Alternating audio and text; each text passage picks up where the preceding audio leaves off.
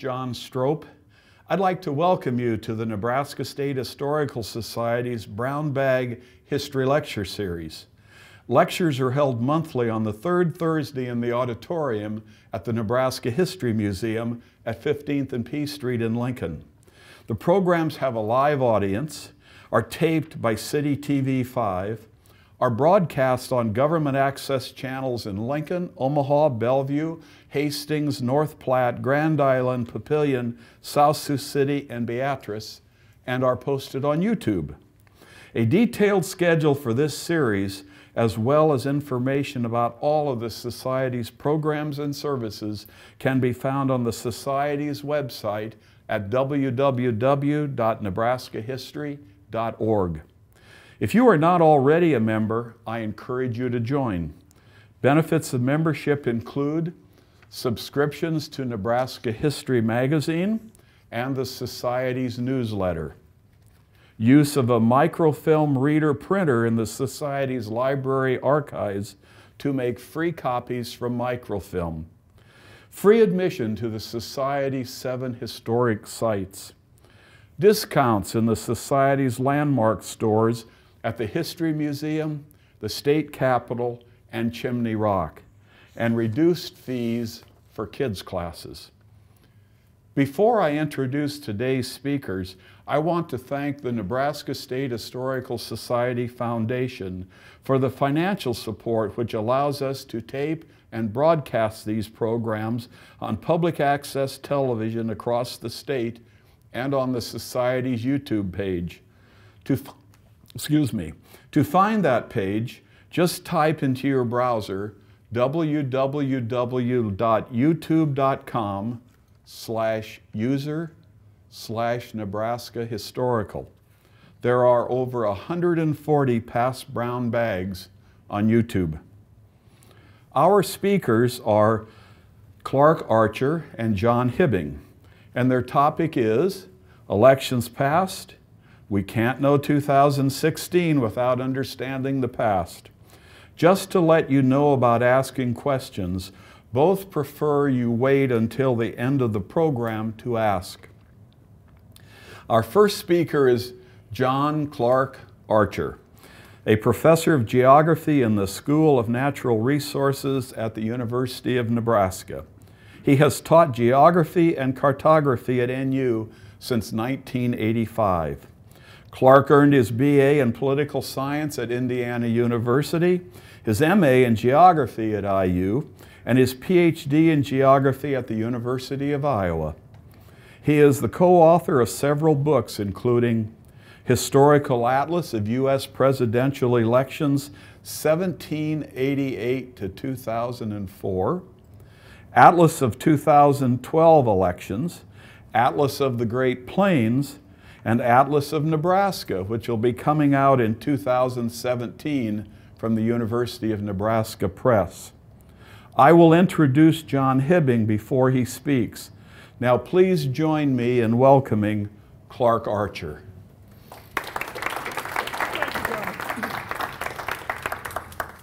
Okay, I'd like to begin by thanking the Nebraska State Historical Society for uh, giving me an opportunity to talk about and to look at uh, some history of elections, and I'll bring it up to the present in various ways. Um, the, this, in, a way, this is sort of a built-in commercial uh, that indicates uh, where some of the material comes from. Um, a fair amount of it comes from a historical atlas of U.S. presidential elections, which was mentioned going back to 1788. Uh, that was the first atlas to uh, map elections at a county scale back to that time. Uh, there are various other uh, writings uh, that I have collaborated on. Now, what I'm going to do to begin with is put presidential elections in a constitutional framework and for and also in a historical framework. Um, I collaborated with a British author, and he pointed out to me that our uh, Democratic Party and Republican Party are probably the oldest continuously active political parties in the world. Um, actually, even predating uh, British political parties, which didn't become uh, mass-based until the 1830s or thereabouts. Uh, the Democratic Party, you can argue about when it began, but it can be traced back to at least 1800. and maybe before that, uh, the Republican Party back into the 1850s. Uh, so we have an old party system. Now, another thing that I think adds a lot of interest to looking at the span of American elections is that uh, after all, the United States was settled from east to west. And so there was, in effect, a change or a, an evolution, a series of frontiers, and the series of frontiers had relevance to elections at a particular time. There was a rural frontier, an urban frontier, and I think it's fair to say there's now a metropolitan frontier. And uh, election patterns, election cleavages relate to those, um, to those historical trends, settlement trends. Uh, I'm interested in uh, geography of economic patterns and settlement patterns, etc. Now, to look, the electoral college system um, involves an indirect method for electing the president. Uh, so uh, with the electoral college in between, in effect, uh, you and I, as citizens of the United States, vote for members of an assembly, and those assemblies meet in each individual state and are expected to vote for, uh, to cast votes for president. So uh, the really important votes, in a sense, are not your vote and my vote, but rather uh, votes by the 538 Electoral College members. Now, in order to be elected, a candidate needs to have an absolute majority, uh, which is to say at least 270. Now, it's statistically possible, by the way, for the Electoral College to be tied at uh, 269 to 269. That happened, in effect, once before in the past in 1800, and it caused uh, the need or created a need for changing the electoral college system. Uh, but uh, Jefferson and Burr both received the same number of electoral votes, so there was no majority in 1800. It took more than 30 ballots in the House of Representatives uh, to resolve that election. So if the coin lands on edge, and it can now with Maine and Nebraska uh, splitting their electoral votes, uh, it could take a long while before the election is finally resolved. Uh, let's see, states have 3 to 55 electoral votes. Washington, D.C. has three. And uh, one more popular vote in California, which uses a uh, winner-take-all system like most states, uh, do, could allocate uh, 55 electoral votes to one candidate. Now, this, after all, is Lincoln, Nebraska, and Bryan Hospital, et cetera, makes William Jennings Bryan relevant. And I just happened to be looking at the uh, U.S. Library of Congress website and ran across this uh, cartoon of William Jennings Bryan and Uncle Sam on the Electoral College campus. And you can see, if you look at that pennant there, it says Electoral College campus. Now, unfortunately, I think it's fair to say that Bryan actually uh, flunked out three times. He tried three times for the presidency. Uh, so he has the, uh, he's tried more times, success, well, unsuccessful than anybody else. Uh, if you look at this map, uh, this shows the result of the 1896 election when he came closer than he did later on. Uh, but red Republicans and blue Democrats, um, basically he carried the South and West. Uh, but the catch at the time was that the Northeast had more population and hence uh, more electoral vote. But, but take a look at this, and we're going to cycle back to uh, this later on. And it may be that um, failing the Electoral College um, test might be something that's coming along. Now, a presidential election involves several stages. And obviously it involves the nomination stage. I'm not going to be talking about that uh, particularly, but November 8th is election day. Uh, that's when voters assemble and cast ballots for electors. Uh, arguments over uh, whether electors have been successfully selected or not have to be settled by December 19th. And then certificates of ascertainment are sent to uh, uh, the National Archives and various other places. Uh, December 19th, the electors meet to vote for president and vice president. They each get one vote, one for president, one for vice president, and then send certificates of the vote to the president of the Senate and the National Archives. Uh, then on January 6th, uh, Congress meets in joint session uh, with the House and Senate both meeting simultaneously in order to hear the re results of the Electoral College vote. Now, if nobody has a majority for uh, president, uh, then the House gets to select the president, and the vote in the House is by state. So all 55 representatives in California uh, have to come to some agreement as to how California's electoral vote would be cast, and so on. In the Senate, on the other hand, each senator has one vote. Um, it, uh, that's one of the reasons, by the way, it took so many electoral or so many votes in, in the House in, 18, in 1800. Then January 20th, Inauguration Day. If the House can't come to an agreement, by the way, the Vice President will be inaugurated and serve as acting President until and unless uh, the President. When you and I vote, it turns out that the electors that we vote for in Nebraska are pledged to vote for uh, the candidate that's shown on the ballot. It used to be in some states, by the way, that people voted individually for uh, different electors, and they were, electors were on the ballot. Uh, but this is from the uh, National Archives, and the states that I have shaded uh, sort of purple there are states where there are statutes or other requirements that electors vote for who uh, they were pledged to vote for. But on the other hand, the uh, light tan or cream, uh, the electors, there are no penalty for electors voting for whomever they, they choose. Now, uh, they have to select somebody who is eligible to be president in terms of age and various other requirements. Now, this is a cartogram, and the, the states are uh, shown in proportion to their electoral votes. Now, the last eight elections um, I picked the last eight elections because four were won by Republican candidates and four were won by Democratic candidates, so it's a, an even four. Uh, but this shows uh, the states that are shaded uh, bright red um, were are cast, uh, or excuse me, Republican electoral votes at least seven out of the eight times. Uh, the dark blue, uh, Democratic electoral votes at least seven out of the eight times. It turns out that these are pretty well evenly matched over those eight elections. So uh, Republican candidates uh, got about 260 electoral votes in each of in at least five of those elections from uh, the states that are blue or, dark blue or light blue, and they are it's the other way around. But anyway, so uh, basically, sort of 260 electoral votes are in, in an ordinary election you'd expect it, and then then the question is, what about some uh, states being pushed over the edge? Or and you can see the ones that were split 4-4 were only Ohio and, and uh, Nevada. Now, elections tend to run in groups, and these are correlation coefficients.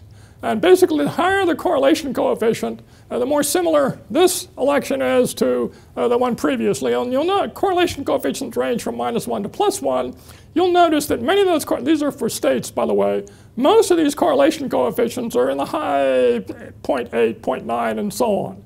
So there's a strong tendency for the last election, like the weather. Today's weather is often uh, follows yesterday's weather, et cetera. Elections are very similar too. The current election is likely to be very much like the last one. But it turns out that there can be uh, patterns that are rather more complicated than that. And if you want a discussion about the, some of the technology, uh, there's an article in the July issue of, of the 1988 Scientific American uh, excuse me, that details uh, some of the patterns that I'm going to be talking about. So that's a source that you can look at. It's in many public libraries, etc. Now I'm going to draw from the atlas of the 2012 election that I had a number of collaborators on from uh, various universities around the United States. And one of the things we did was to apply the factor analysis method uh, that I'd applied earlier in that 1988 Scientific American article and some other articles. In a sense, what we're trying to do is we, we, we have all, a map of every election from 1872 to the present, and it's a detailed county level map, and we sort of scatter them around the room, and we're trying to figure out a way to effectively and efficiently collect those into piles that are similar kinds of elections. And so those show, those are not proportions of votes, but rather degrees of correlation with specific kinds of party systems, they're sometimes referred to. Well, looking at uh, elections from each of these uh, patterns, uh, this is the 1876 election. That was a highly contested election. It was during the Reconstruction period. And it turns out that there were some areas in the South, you'll notice, where uh, Republican votes were cast in that election. For the most part, those were areas where black, uh, blacks were en enfranchised to vote. Uh, but so north to south, you'll notice the uh, uh, red Republican north and a blue Democratic south. Then this was 1896. And 1896, of course, is when William Jennings Bryan uh, contested for the election against McKinley. Uh, previous to that, by the way, there had been fusion of populist Republican candidates for governor and state senator or state senate, and even I think for the national uh, Congress from various areas in the South. So when Bryan was nominated as a Democratic populist in 1896, it caused various uh, internal divisions within uh, actually both parties. But you'll notice once again a Republican North and a Democratic South. And again, the greater population is in the North area.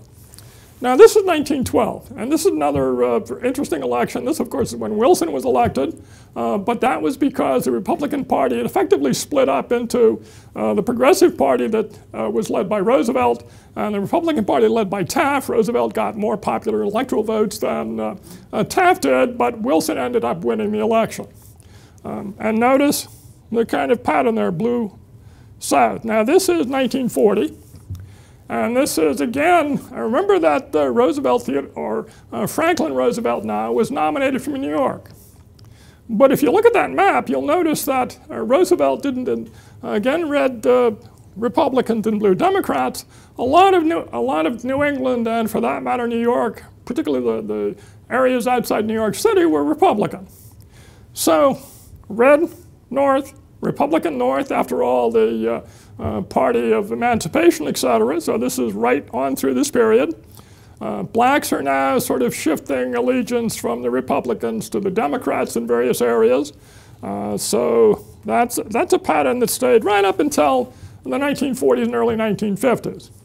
Now we see 1960, and this, of course, is the Nixon Kennedy election. And you'll notice that there were some folks in the South that did not uh, vote for Kennedy. I think Kennedy wasn't even on the ballot in Alabama. Um, so you look at that, but still red Republicans and blue Democrats, uh, no to blue Democrats in the South and red Republicans in the North. Even though Kennedy was from Massachusetts, you'll notice a fair amount of Massachusetts is still Republican. Uh, 1964, uh, there was the election that uh, uh, Johnson won Goldwater versus Goldwater. Goldwater was the first Republican to score strongly in the South since whenever, okay. And you'll notice that this is for the first time then that there's a red, a number of red states in the South. Uh, this was a landslide for Johnson. 61% uh, of the vote for Johnson, less than 40% of the vote for Goldwater in the popular vote. Uh, this is 1972, and this is an election that basically was a sweep for Nixon. Uh, my recollection is that uh, McGovern got um, Massachusetts and Minnesota, I think, or maybe Wisconsin, but he only had electoral votes from two states. So they're red all over everywhere. Then 1992, and this is uh, an election. You'll notice a lot of these interior areas uh, don't show up in the high uh, categories of, of, one or the other. Uh, independent, Ross Perot had a big impact on this, about a fifth of the uh, popular ballot, although zero electoral votes. Uh, third parties don't do well in the Electoral College, usually. They did very well in the Electoral College in 1860. Uh, so uh, uh, Lincoln was the last third party candidate to win the Electoral College. But you can see that pattern. And then if we move forward to a state level uh, pattern, uh, this, these are from that atlas of the 2012 election. Uh, these are percentages by state, and you'll notice that the uh, northeastern seaboard and the, uh, the left coast or west coast show up very strongly in this. Uh, one of the reasons, even though California has 55 electoral votes, it's not been attracting very many uh, campaign uh, visits recently, basically because the Republicans don't feel that they have much chance at all in California. New York, even though Trump is from New York, sort of category. But notice a number of red states in the Mountain West and the South, and then third party votes. Now, if we look at these patterns at a county scale, uh, this is the Democratic popular vote in 2012, and the light areas are less than 30% of the, of the popular vote, and there are quite a few of them across the uh, Great Plains and the Mountain West, et cetera. Uh, the blue areas are 70% or more uh, popular vote in the counties for uh, the uh, Democratic candidate in 2012. Now, the Republican candidate in 2012, uh, Romney, did pretty well. You'll notice all sorts of areas through there. But one of the things I'm going to ask you to do is sort of hold that map in your mind, and then let's jump back to 1896. Okay? Now, the 2012 map and the 1896 map, in a lot of ways, are almost mirror images of one another. So it looks like geographically uh, that, whoops, in a sense, it may well be that geographically the parties have basically switched sides. And there are interesting ramifications in terms of, uh, certainly in terms of where supporters are located. So there is a Republican popular vote. Uh, this is the Libertarian vote. And notice the Libertarian vote in, uh, in 2012, uh, particularly in uh, some areas of the central Midwest and then the uh, Great Plains and Mountain West areas. So those are areas where both neither party can claim an absolute uh, command over the electorate. And the same thing, by the way, this is the Green Party, and you'll notice places like Maine, et cetera, and uh, the, the, Washington, Oregon, not surprisingly. Uh, so there are green, can green candidate support. Now, how much third-party effects are going to influence the 2016 election? Uh, that's an interesting issue. Uh, I understand libertarian voter registration has been going up. Uh, so there's some really interesting potential consequences here. Uh, this is an overall map of, of third party, uh, not only Libertarian, uh, Green Party, but also other third party candidates. Apparently, there's a third party candidate in Utah who's doing pretty well. Uh, so it's conceivable that Utah might end up uh, going either Democratic or maybe for a third party candidate this time. I'm not all positive. In terms of voter participation, notice that there is overall generally a south to north gradient. Uh, so that voters in the South are less likely to cast or uh, exercise their franchise and vote for a candidate than voters in the North, except you'll notice in the Mississippi Delta region and in Virginia and Carolina, et cetera. Uh, so those are areas where uh, voter registration and voter participation has been going up. These are very contested areas. Virginia, uh, North Carolina, well, I suspect some of those other areas may well have higher turnouts. So the overall map looks like that. But of course, that implies that uh, if you look at that, you wonder how it was that a Democrat won the 2012 election. Well, it turns out that there are also other things. Remember, I mentioned those uh, various frontiers an urban or a rural frontier, an urban frontier, and a metropolitan frontier. And that's essentially, I think, what's represented by these maps here. And these come from that, uh, that historical atlas of US presidential elections. Uh, the are proportional to the number of votes cast in a county. Now, if you look at 1848, uh, uh, United States was still predominantly rural. Uh, 18, 1900, uh, the United States did not become more than half urban until 1920.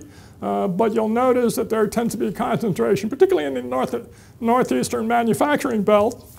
Uh, then 1948, you'll notice that some of the urban counties are beginning to get uh, cast more ballots in rural counties, so rural to urban migration uh, by this point is beginning to have an impact on uh, popular voting patterns. And then you'll notice that by 2000, uh, that um, basically we're looking at a metropolitan electorate.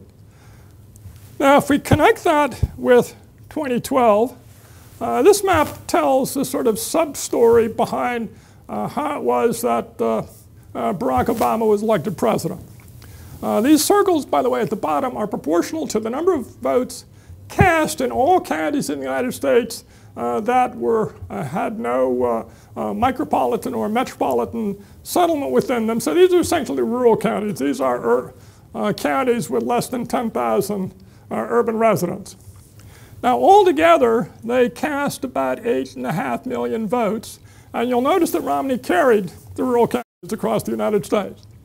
Um, Micropolitan counties are those with uh, metropolitan or urban populations of 10,000 to 50,000, and they cast a total of about 12.5 million votes together in uh, uh, 2012. And once again, Romney carried that about uh, what 7.3 to 5 point, uh, to 5 million. So he carried micropolitan areas by two and a half uh, votes or so. Then metropolitan areas are 50,000 to 1 million. And once again, you'll notice that that was a pretty, oh, there's a pretty close contest. Uh, Romney received 19 million votes and, and, Obama about 18 million votes. But take a look at the, that last circle. That last circle identifies all the counties in the United States within metropolitan areas having populations of more than 1 million. I've got four minutes. More than 1 million. And you will notice that such counties cast close to 70 million votes. So the metropolitan counties collectively cast more votes, or people living in those counties cast more votes than those living in rural areas, in small town areas, and even in small metropolitan areas. Uh, so the difference in the election then was Obama got 39 million votes from big metropolitan areas. Uh, Romney got about 29 million votes in big metropolitan areas. So Obama led in big metropolitan areas by 10 million votes. And that obviously overshadowed the uh, smaller margins for Romney or margin for Romney in other areas.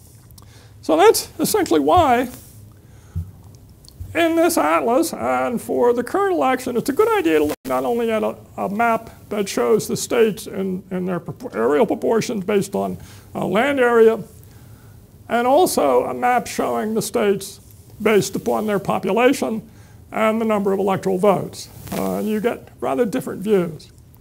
So if this were a normal election, and I'm not sure that it is, but if this were a normal election, at this point it would be probably pretty close to a toss-up. Remember that we look over the last eight elections or so, uh, that Republicans can be fairly well assured of about 250, 260 electoral votes. Democrats can be fairly well assured of 250 to 260 electoral votes. And then there's that contest in the middle. Uh, but this is probably not uh, going to be such an election. Uh, how it will end up, I'm not sure. Uh, National Public Radio, uh, about a week ago, um, did a forecast of, of votes uh, by state, and that's what their forecast uh, shows on the, uh, are using states represented by area. And if you total those up, um, about 270 electoral votes. I think this morning I was watching TV and they're talking about forecasting 300 electoral votes or more uh, for the Democratic candidate the Republican candidate. But notice then that if we go back to 1896, basically we'd have to change the shading, most likely. Okay? And blue would be red, and red would be blue. So there are interesting sorts of patterns when we look across a, a long series of elections.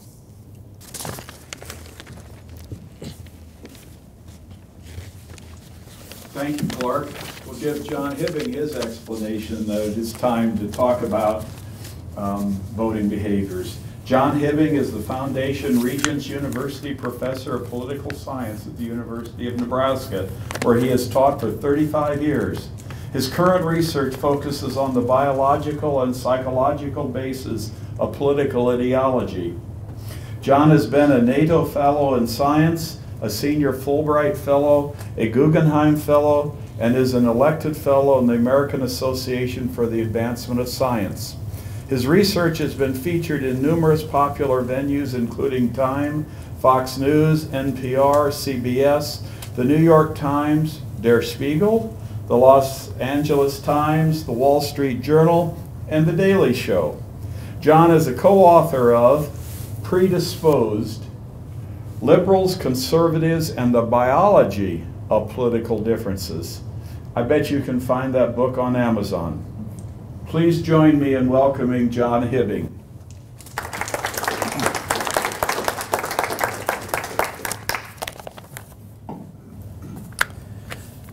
Thank you, John, and uh, thanks for having me. It's a delight to be a part of this program and to share the stage with Clark, whose work I have long admired.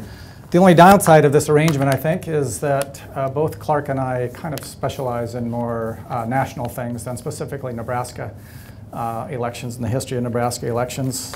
He does it from a, a, geographical point of view, and I do it from more of a biological and psychological point of view. I might try to work that into the tail end of my remarks, but we were encouraged to spend some time on uh, Nebraska politics. This is the Nebraska State Historical Society. We are in the Nebraska uh, museum. So um, I was kind of handed the short straw on this, and even though um, I'm sure that many people in this room know a lot more about Nebraska uh, politics and the history of Nebraska elections than I do, I'm going to uh, focus my remarks on that to kind of counterbalance Clark's uh, great presentation um, on the national scene. I just don't have you know, Clark's pretty maps or his insights, so uh, I'm, I'm in charge of this. In any event, uh, I imagine since uh, you all know so much about Nebraska uh, politics and Nebraska history, you all know who James Pittenger is, right? James S. Pittenger. Well, I'm playing with you. You really shouldn't know. Uh, although uh, James S. Pittenger was once the Secretary of State of Nebraska. Now, no offense to John Gale, but you know that in itself might not deserve mention in a talk like this, uh, just being Secretary of State. But, so there's something special about James S. Pittenger. It turns out he was the last Democrat to be the Nebraska Secretary of State. When do you suppose that was? Well, you have to go all the way back to the election of 1950. 1950 was the last time Nebraska elected a Secretary of State. What about Attorney General? Nebraska State Attorney General. Story's a little bit better for Democrats here. You only have to go back to 1960.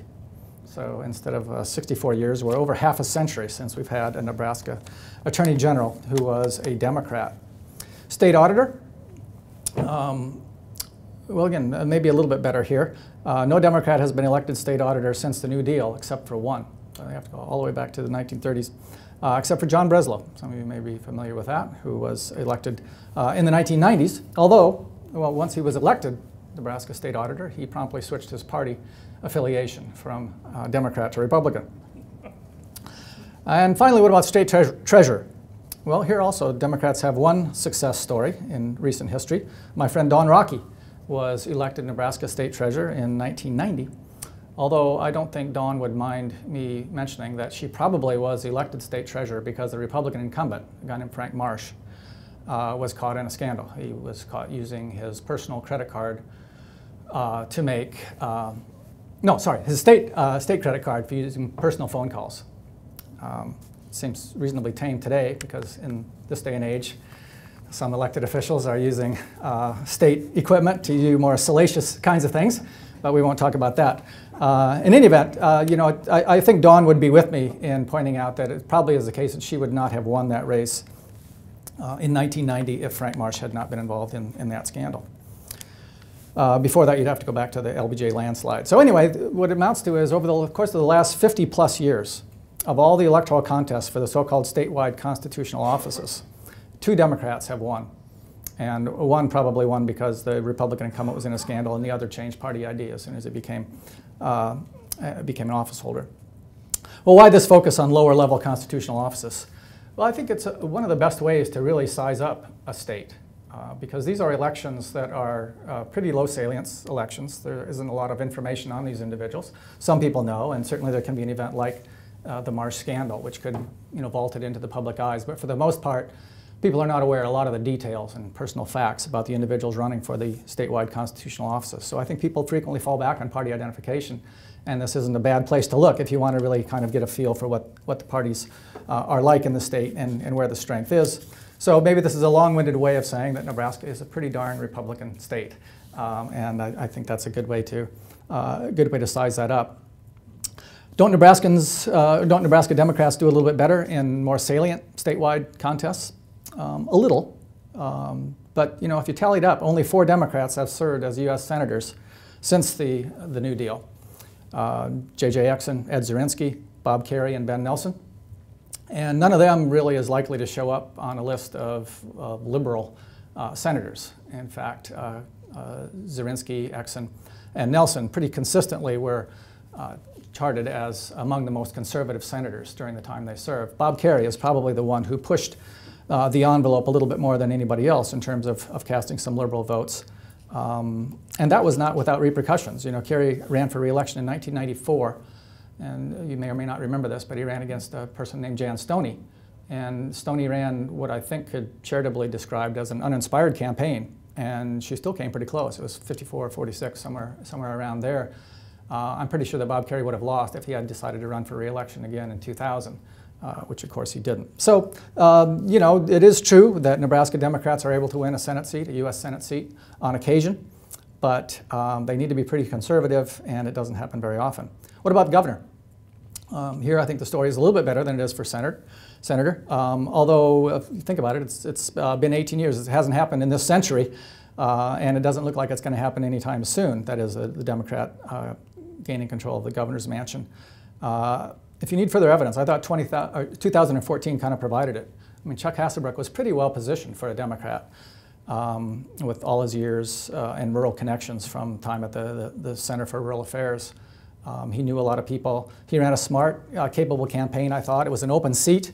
Uh, uh, yet he didn't come close. You know, that was not, uh, not a close contest in 2014. Uh, Ricketts won fairly handily in the, in the general election.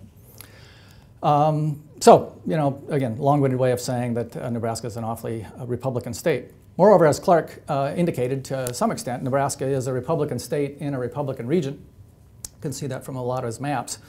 If you define the Great Plains as kind of the six states running up the rib of the country, and I know we shouldn't, people have very, very clear definitions of what the Great Plains are, but if we're just kind of using, uh, if we fall back on state boundaries, certainly um, those six states running up from Texas through Oklahoma and Kansas, uh, Nebraska, and the Dakotas uh, are an important part of the Great Plains. If you look at those six states, um, the region really, even though it has not historically always been Republican, it has been lately.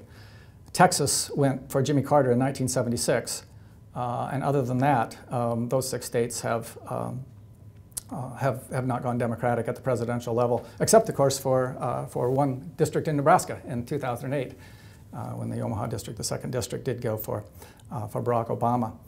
So um, you know, I think part of the reason, of course, is that Democrats tend to do well in cities, and Republicans do well in, in rural areas. Another thing that came through in, in Clark's maps. Uh, in fact, in 2012, um, Republicans won only four of the major metropolitan areas. And you probably want to know what they are. So um, that would be Salt Lake City, which wouldn't be surprising since uh, Mitt Romney uh, was running in 2012, uh, Dallas, and Oklahoma City, and Phoenix were the four. Other than that, the Democrats won every major metropolitan area, uh, even though many of them are in quite conservative states. So uh, perhaps it's not surprising that the one place in Nebraska where the Democrats could chip away would be the, the area, the, the district that's dominated by, uh, by Omaha. That's certainly not a, not a coincidence. It may happen again in 2016. It's been an interesting, interesting situation with that district. Um, let me make a few comments about party registration. Uh, in 2000, here are the numbers. Nebraska uh, broke down this way. 50% registered as Republican, 36% as Democrat, and 14% as independent. We call them nonpartisans in, uh, in Nebraska. How has that changed in the last 16 years? So earlier in 2016, the most recent data I could get, um, the Republicans had dropped from 50% to 48.6, so down about a point. Uh, that might surprise some people, but uh, let's put it in larger context here. Uh, Democrats were at 30.9, and that was down from 16 years earlier when they had 36, so down a little bit over over five points. And nonpartisans were up from 14% in 2000 to 20.5% in, uh, in 2016. So there's been a big growth in independents, as, as a lot of you uh, are probably aware. Um, and, uh, and, Democrats are having trouble. Only 3 in 10 Nebraskans register as, as uh, Democrats right now. So that means that 61.1% of all people who register for one of the two major parties in Nebraska register as Republicans. So remember that number, 61.1%, because I want to focus a little bit on the nonpartisans to kind of think about how they're, um, how they're breaking out, what kind of behavior they're engaging in, and that's a difficult thing to trace. So here's what I thought we could do. Uh, you know, sometimes it's argued that a large slice of this nonpartisan population in Nebraska means that Nebraska is not really such a conservative state, but it's an independent state. I've never really believed this. You know, I know people, uh, people make that claim, and we certainly do have an independent streak once in a while, but for the most part, if it's independent, it's conservatively independent, and I think most of those, most of those people registering as nonpartisans actually break for Republicans, as I'll try to show now. Um, so uh, let's compare it with the election results, and then we can kind of figure out, and infer what the, uh, what the nonpartisans are probably doing. In 2014, if we focus only on votes for the two major parties, which is almost all of them, and we add up what happened in the House seats, the three House districts, uh, it turns out that 67% uh, of the vote went for the Republicans. That would be Jeff Fortenberry, Lee Terry, and Adrian Smith. So about two to one Republican across those three uh, congressional seats. Uh, even though, remember, uh, Ashcroft won, a Democrat won that race in 2014 in the, um, in the second district, so that was kind of surprising. The Senate race in 2014, Ben Sasse against Dave Domina went uh, two to one uh, for Sasse. That was not even close, well over 60% there. The governor's race uh, was more competitive. Uh, but even there, Ricketts won uh, 57 to 39, or if you look at just the two-party vote, that's almost 60% of, of the two-party vote that, that Ricketts received. As far as the presidential level, Romney won 60% of the vote in Nebraska in 2012, if you average across the three, three districts. districts. So um, the reason I'm bringing all this up is that it seems to me that if you look at uh, what's, how the partisans are breaking in Nebraska, it's pretty much about the same way that the nonpartisans are breaking in Nebraska. Um, it's not the case that Democrats are attracting a lot of these independent nonpartisan voters. It's not even the case that they're breaking 50-50 for Democrats and Republicans. They're breaking about 60-40 the same way that the party registrants are. So, you know, it, it, may be the case that those nonpartisans are somewhat available to the Democratic Party for the picking, but generally these are fairly conservative individuals who are going to, uh, going to end up voting Republican uh, more likely than not. So let's face it, you know, it seems to me J.J. Jackson built the Nebraska Democratic Party in the 1970s. Uh, and ever since, it's really struggled to maintain itself as a viable statewide entity. Um, I know some people think, well, if they just uh, do a better job organizing, that they're, you know, it's just a, a question of, of uh, applying themselves and working hard. I don't believe that. You know, I think there's, the Democrats in Nebraska are swimming against a very important ideological current. Uh, it's not the case of inept uh, organization. Uh, it's just a kind of, uh, kind of political philosophy that tends to dominate in Nebraska. So uh, let's bring it up to the present time. What does all this mean then, this background mean for what's happening in 2016? Well, what's going to happen? We're always encouraged to make predictions, and then when we make predictions, people get mad at me. That's usually the way, the way things happen. Um, uh, but we do need to think about 2016, and, and that was part of the, the whole motivation for this event. Well, there's not much to say in Nebraska in a way. Can, don't get angry with me yet. Let me, let me finish. Um, you know, there, there's not a lot going on uh, in some respects as far as the constitutional offices that I made such a big deal of earlier in my remarks. Uh, we don't have them. Uh, you know, we structure that so that uh, those four constitutional offices, they serve four-year terms now. They haven't always, and they're elected in midterms, so we don't have any of those races to talk about. Uh, moreover, we don't have a Senate seat this cycle, and we don't have a governor's race this cycle. So if you think about it, given the fact that we do divide our electoral college uh, on the basis of a district-by-district -district, arrangement, we really don't have a statewide race uh, in Nebraska, uh, since even the presidency isn't. Um, nonetheless, uh, that does leave us with, with something. We have uh, several interesting unicameral races. Uh, we have a competitive House race in, in the Omaha district. Um, uh, Don Bacon against Doug Ash Ashford. I said Ashcroft before, didn't I? Sorry, Doug Ashford. Um, a very important ballot measure, the death penalty. in fact, as I was walking over to give this talk today, somebody me, handed me a flyer uh, saying I should do a, cast a vote a certain way on the death penalty. So that's certainly on, on people's minds. Uh, and then, of course, the presidential race, even though it's not, uh, um, in some respects, a, a statewide race here. Uh, in other respects, it is, and we, we do allocate certain uh, elements of our electoral college votes on the basis of the outcome for the statewide race. So what's going to happen? Well, of course, it's pretty easy.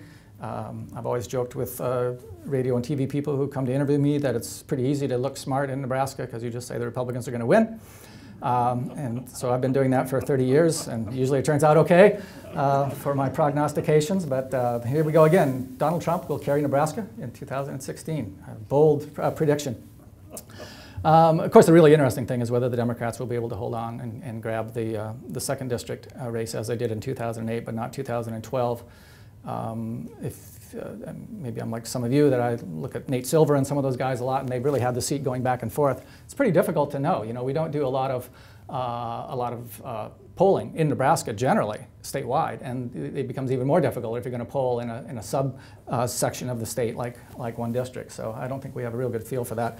Certainly, you know, given recent events and given the challenges that the Trump campaign is facing, it's not unrealistic to think that the second district could go for Hillary Clinton in 2016. Um, and I suppose some people think maybe even the first district has a chance of going that way. I think that's probably unlikely.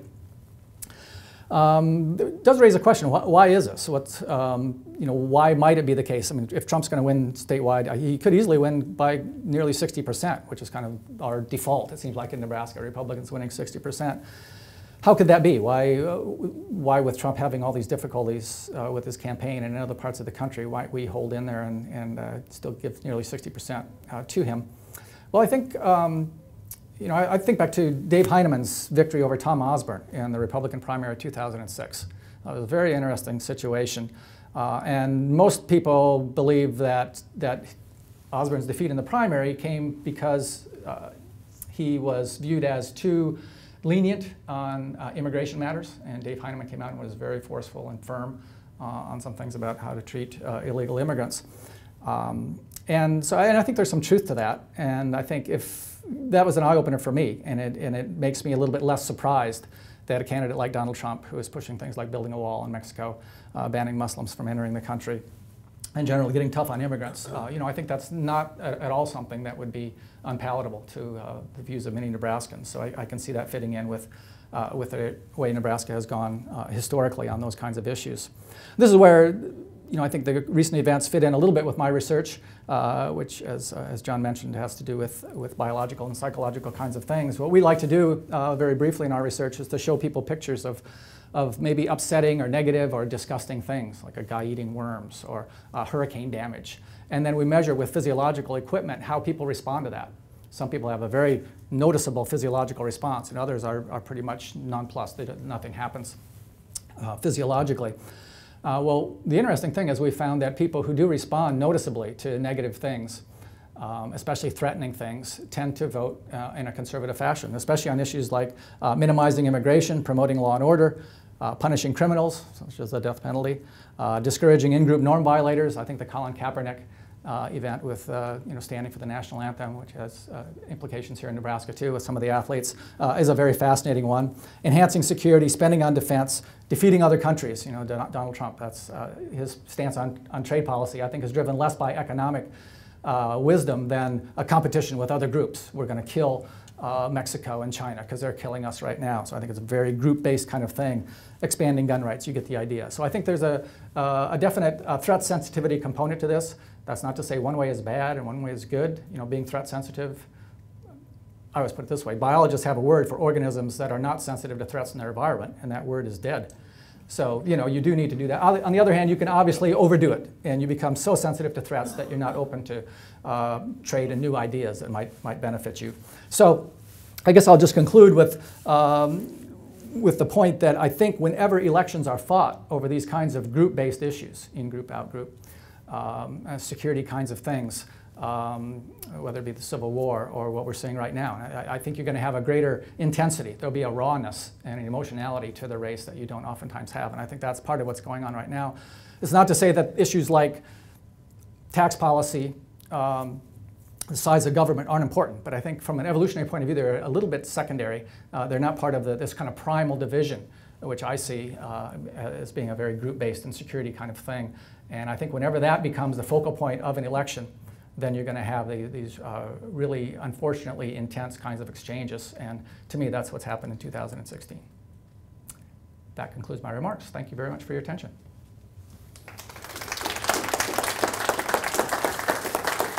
And now I am going to invite Clark to join me up here, and you are free to pepper us with questions, and he will answer. I'll give one, maybe to you, John. Uh, do you feel like the, the whole movement here, rise of identity group politics, is really fits right into your biological, psychological, uh, behavioral kind of view, and which of course is reflected, I think as it has been in Clark's data and charts and so forth. So the question is whether the kind of uh, orientation toward identity group politics uh, fits in with some of my remarks and uh, also to Clark's uh, uh, presentation of the patterns of election results. And yes, I certainly do. You know, it's, it's something we don't like to talk about a lot. Um, you know, we'd like to think that people are above this, uh, and we're not so aware of, of these identities. Um, and I think one of the things that the Trump campaign uh, has, has pointed out, intentionally or not, is that we're, we're not really beyond that. And um, there are certain people who I think have been really deeply frustrated by the fact that they haven't felt comfortable talking about uh, about some of their attitudes. It's not not correct. So I think it's, it's been almost a liberating thing, and it, it maybe uh, the, the, emotions have spilled over in a way that uh, that has not always been. Uh, been beneficial to the system, but I, I, certainly agree with your comment. I think the identity group politics is a great illustration yeah. of what I was saying.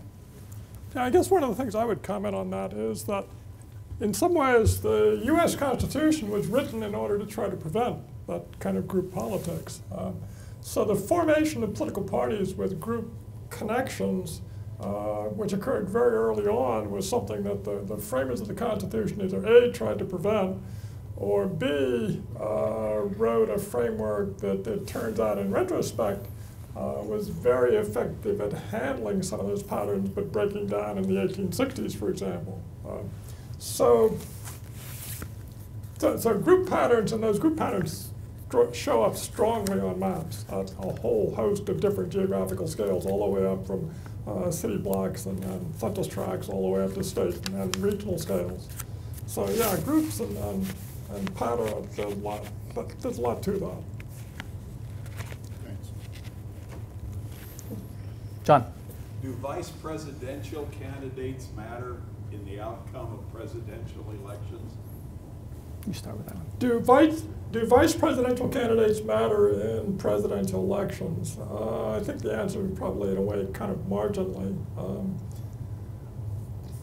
so I, maybe John would like to add to that, but I don't think they have a tremendous amount of influence. No, I think they, they can do harm, as I think probably was the case with Sarah Palin in the McCain campaign. Um, they could potentially, you know, pick up a key state. That's a lot of times what people are thinking when they select a nominee. That maybe, uh, maybe Hillary Clinton thinks that a benefit of having Tim Kaine on the ticket is that that will solidify her stance in Virginia. Right. So I think, you know, you have those individual state kinds of things. But uh, yeah, nationwide, I tend to agree with Clark. I think it's it's pretty rare that the vice presidential uh, individual has, has actually made a, a fundamental, uh, had a fundamental effect on the outcome. Yes, ma'am. Are so tired of this mudslinging that I think there's, I wonder if there's going to be people who are going to just vote the party or vote against the party. Uh, Question is, um, there's people are so disgusted and so upset with all the mudslinging that uh, you know, hypothesizing about how that might lead them to react. Will they just crawl back in their party uh, kind of shell and vote that way and, and uh, not pay attention to anything else? I honestly don't know. I mean, I, I have never been a big believer uh, in the tendency of people to kind of who are disgusted to drop back onto a third party. We just haven't had uh, that much opportunity. Although Ross Perot was a good example of that. He got 20% of the vote. Um, so it can, it can happen, and that was basically a protest vote. Um, but for the most part, it seems to me that given the institutional arrangements that we have in the United States, and you know, again, maybe back to our research a little bit, that you tend to have this spectrum of people who are really sensitive to threats and those people who just don't get it, why people are so sensitive to threats. I think there is a kind of a, a unifying dimension that does force uh, this, this dualism in, in party arrangements to a little bit, uh, to a certain extent. Um, so I don't know. That's a great question. What uh, you know, I'm sure it's going to break a lot of different ways. A lot of people are going to stay home. Some people will uh, go to a third party. Uh, maybe other people will stick their head in the sand and just vote for their party, regardless of how upset they might be with their party member. Yeah, I think probably a, lot of that has to do with efforts to try to control the amount of turnout, and uh, different parties benefit in different ways from what groups in the, the electorate uh, turn out to vote. Uh, one of the things I'll note, though, uh, when, there, when an election was a landslide election, as let's say 1964 was, or 1972 was, or earlier cases, um, it generally some of those votes are anti-votes. Uh, so, so the anti, you know, when, when the anti component is fairly large, then the, the vote for the leading candidate in the upper 50s or lower 60 percentile ranges indicates that probably there was an anti-vote contributing to the winning vote in that case. That was also true in 1932, for example, or 1936. Uh, there was a significant anti-vote that benefited Roosevelt. Uh, so I, I think that it depends from a lot on the, the election setting. Yeah, if I could pop back in for just a second. I, I've always thought that we have kind of a four-party system in the United States. We have Democrats and Republicans, then we have anti-Democrats and anti-Republicans. I'm glad. And uh, I happen to live with somebody who thinks she's a Democrat, but she's really an anti-Republican. You know, she loves, she comes alive when there's a boogeyman out there, when uh, George W. Bush was president. And there are other people like that on both sides. And so I think, but then when a Democrat's in office, she's, you know, okay, she follows politics, but it's not quite the same. So I, I like the way Clark referenced antis. And so I, I mention it here because I think those people who are, you know, anti-Clinton or anti-Trump, they're probably going to vote, right? But, but those people who tend to be the pros, they, because of the disgusting level that you mentioned, they might be a little bit less motivated. But we have to vote because there are other things on the ballot. Point, We absolutely have to. But some people that will Yeah. vote for the other things may not vote for the president. The point is a very good one that we should still all vote anyway because there are lots of other things on the ballot which are crucially right. important, even if you might be disgusted with uh, presidential candidates.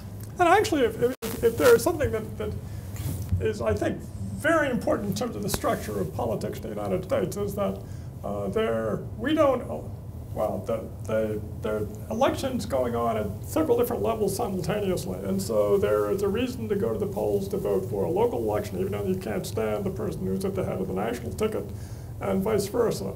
Uh, so that I think is very important, and I think it contributes a lot of support toward loyalty toward the overall U.S. political and electoral system. Uh, the fact that there are several different levels operating simultaneously in any given election. So I think that's very important to the, the fact that we still haven't. Uh, I mentioned that the U.S. political parties are probably the oldest in the world. Uh, you could argue that we have the oldest constitutional system in the world. In fact, uh, constitutions are pretty usual around the world today, but the first significant one was the United States. Uh, so the framework is a very robust framework, and it's partly because it exists at several different geographical scales simultaneously. I think that's very important. So I'm getting the high sign that we have time for maybe one, possibly two questions. Carl. I have a, I have a double-barreled question. Uh, first, uh, would you gentlemen care to make predictions about the upcoming election? Uh, and then second, do you think that this elect election situation will result in the rise of a viable third party in the U.S.? Okay, again, I've been thinking about that and trying to think about what some of the parallels might be with past elections. Uh, issue of a third party arising. Uh, in some ways, I think there's some parallels with the late 1900s, early 20th century, uh, with the 19, 1896 election, 1912 election. Uh, rise of the, the U.S. system is really loaded against third parties, um, but the coalitions that comprise the major third parties may well be in the process of evolving. Uh, so I'm not sure that it's likely. But remember, too, the party label continue being used, but the coalition that that party label uh, represents may not look very much like it was before. And, and, uh, uh and that's one of the reasons, by the way, that I kept mentioning uh, the, the New Deal elections, and a lot of the North was shaded red for Republicans. Um, so that's a good example, I think, of, of, party labels are still being used, but the coalition they represent are have modif- or been modified a great deal. So uh, predictions: uh, Hillary Clinton will win comfortably. Uh, Republicans will continue to hold control of the House. Senate could go either way doesn't matter all that much because Ted Cruz will filibuster pretty much everything in sight, uh, regardless of which party controls. Uh, yeah.